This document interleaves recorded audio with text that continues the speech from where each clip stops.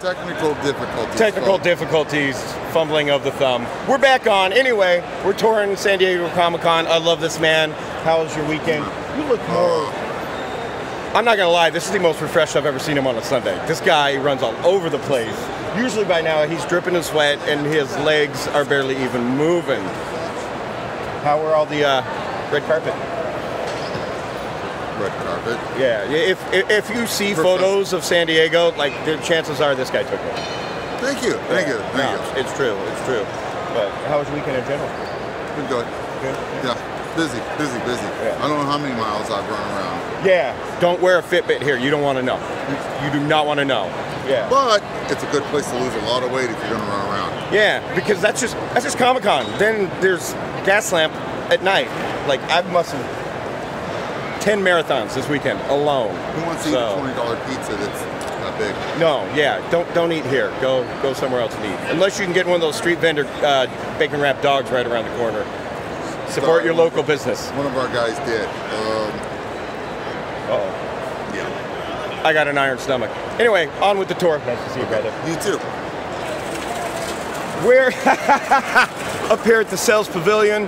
Uh, great place to get off the Comic Con floor, for sure. It gets really hot down there, so uh, you got a nice breeze up here.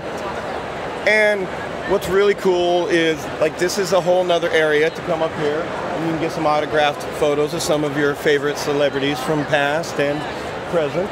You never know who you're going to run into up here, whether they're an actor or a wrestler or a writer, uh, or, or Sherilyn Fenn right over there from Twin Peaks. Yeah, always, always good stuff going on up here. So, highly recommend coming up here. And when you check your Comic Con schedule, you may find out that some of the people you're looking for that you want an autograph from are actually up here, uh, and they're only up here for limited times. So make sure you check that schedule. That's that's the important part.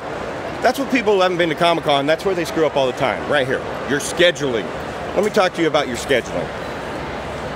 There are a million things to do at Comic Con. There's panels left and right, and you know what? You're gonna have to make a choice sometimes because you can't hit every panel. And some of your favorite panels may be across the entire Comic Con. Like you can't get to it right after the next. Not to mention lines. There's lines for everything. There's lines for autographs. There's lines for panels.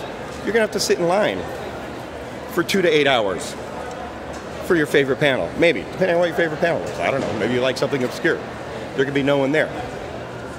I love the panels where there's no line and I can just walk in and say hi to my friends. Those are great. But most cases and most things you like and most nerds, that's not going to be what happens. So be prepared for long lines and manage your schedule because otherwise you're going to miss something important for something not as important just because you thought you could fit it in.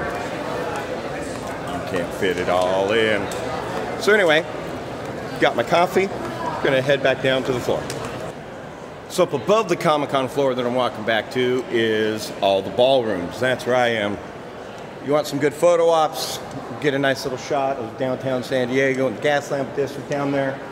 Uh, and, and be aware that, I mean, look, look at the advertising on the buildings. Like the advertising they do down here for Comic Con is just amazing and ridiculous. But you got to be aware there's there's a Marriott over here, there's a Marriott that way, and a Hyatt.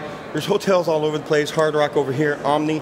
Every single one of these hotels hosts different private events. So the event you might be looking for, or the signing, or the the movie release, or whatever, unless you're going to Hall H, of course, uh, they might be in one of those hotels. So back to scheduling, check that scheduling and make sure you know where you're actually going because uh, once again, you get lost, you're missing that important panel.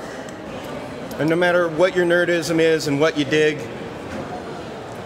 cosplay is not consent. Always ask for permission to take a photo. And no cosplay shaming. There's cheap cosplay, there's expensive cosplay. I love a good casual cosplay. But yeah, you know what? That's there's so much here to see, especially when it comes to cosplayers and costuming. Uh, the masquerade ball is a good time on Saturday night. Check that out. Once again, check your schedule, plan ahead, and uh, definitely don't wait last minute to make those costumes. Tired of watching you all stressed out on my Facebook feed, freaking out because it's like ah two days to Comic Con and I haven't finished my hood. I haven't finished my wings, my cosplay. Damn it. Plan ahead better.